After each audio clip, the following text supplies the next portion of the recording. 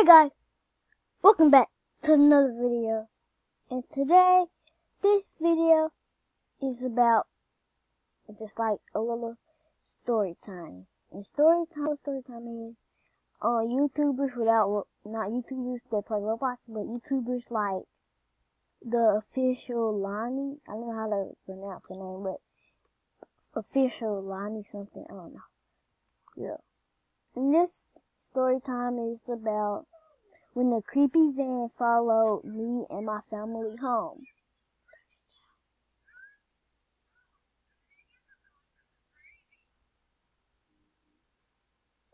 Okay, so okay, let's start story story time. So me and my family, we was heading out the Walmart, right? We was heading out the Walmart I was I was heading out to Walmart with my mom, dad, brother, and my family like that. Okay, and then we noticed this white this white van started following us. So at first we thought that the van was just going the same way we were. So, but until but the but we was just but we figured out we he he or she who was in the van was following us because by the time we was at Walmart, he was still following us. But the throw was off a little bit, the van just like pulled over at the at a gas station to make it seem like he or she wasn't following us. So my mom and dad told me told me to look, make sure, and they told me to to be lookout. So just in case the van come back, I should tell them for they should know and they could call the cops. Okay, so a few minutes later, after we did all of our shopping from uh, Walmart, we see this fan falling behind us one minute later. And I get really scared because like, second time. Okay? So then I told my mom that that I saw the van following us, but again, so he started calling the cops. But didn't answer for some reason, and that's when I got really scared because knowing that we can't we can't get help because they're not answering, so that just made me really scared. So I, I was just like, they must be handling too many emergencies to handle to handle this one then. And then since no one was helping, no one could help us. We just drove home and we just had to hide. I was hiding in my closet. Okay. And then my dad, he volunteered to like just check out the, um, check out the front door and the van was pulled in our driveway. It was pulled in our driveway and that's when he told me he, and then when my dad came upstairs and told us that I got really scared because I didn't know if he was gonna break the door, the door down or anything. And I just thought I was gonna get kidnapped, or I thought I was gonna get killed. And I just, and I just got really scared, and I just started crying because I thought when that moment happened, I thought that was gonna be the end of my life. And I just started crying because I, I was so scared because I thought this was gonna be the end of the family. And my heart just started racing, and I was just so scared. I was just so sad at that moment. Until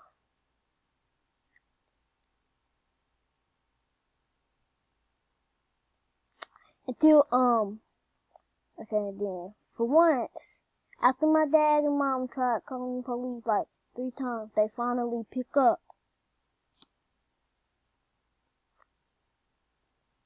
And my mom was released. So he or she had a mask on, so we couldn't tell if it was a he or a she. So he came out and went and came to our front door, knocking really hard. And my dad whispered to all of us and said, don't answer the front door. Cause he said it was him because he saw.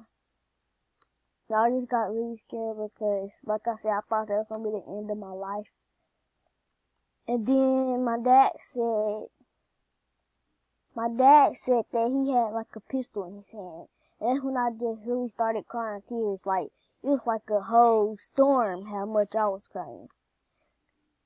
I was just like, this is the end of my life. He has a gun. He's gonna kill us all. And I just got really scared and I just started, I wasn't thinking of the positive like I usually do because he has a gun. I mean, what am I supposed to do? And during that time, I was just really scared. Okay.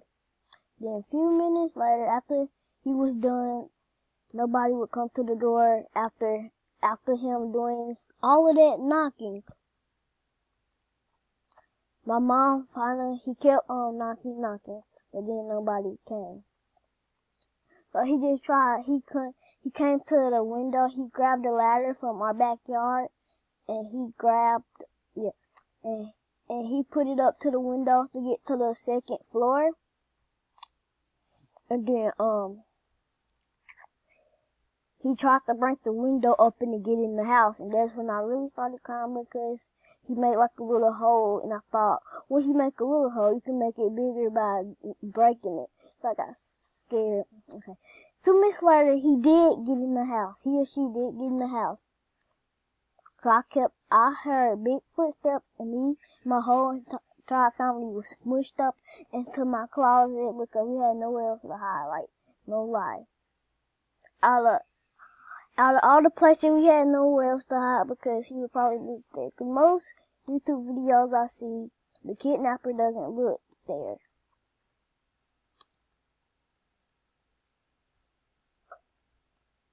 Okay. Okay, and then, yes, like I said, he did get in. So after I started hearing footsteps, he just like he searched like all the rooms except for the closet. You know, there and I started thinking about the positive. Cause after I was started thinking about the positive, that's when the police called back. And was, I thought that was a blessing because after I started thinking of the positive, that's when they called back. And that's a God's blessing right there. Okay. And then no, and then my dad and mom, they was just like, they was just like screaming kinda and whispering at the same time for the killer. Couldn't hear, hear, hear them. And they was just like freaking out and panicking, like, it's a killer in our house, stealing the food and trying to steal the furniture. I mean, what, okay. So we wasn't worried about the furniture because we could get more stuff.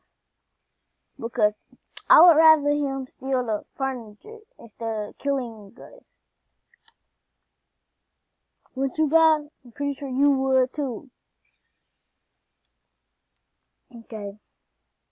Then five minutes later, after my mom got done talking on the phone with the cops and stuff, they finally, and yes, they told them the address and all of that, and so they finally arrived. But by the time they got here,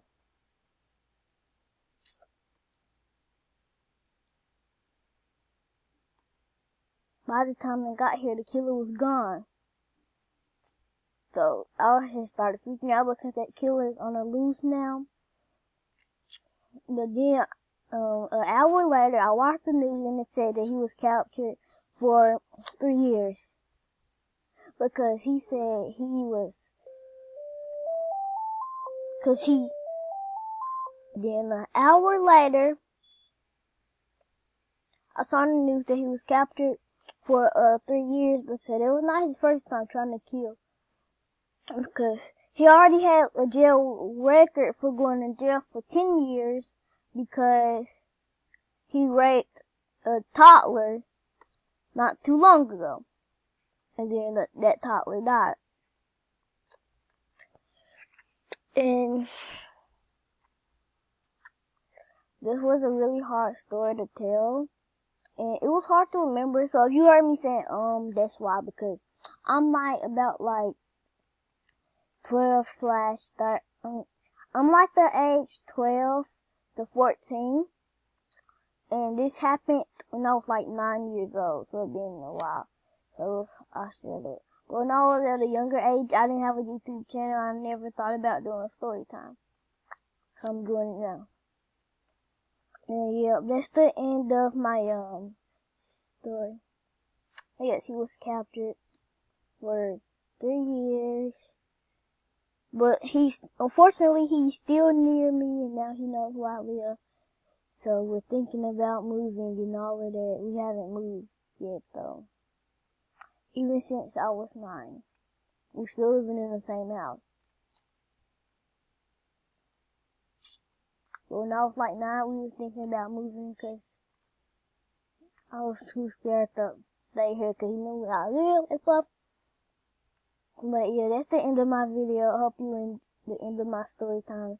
If you think I should do um another story time while playing Roblox, make sure you um tell me. Make sure you subscribe. Bye.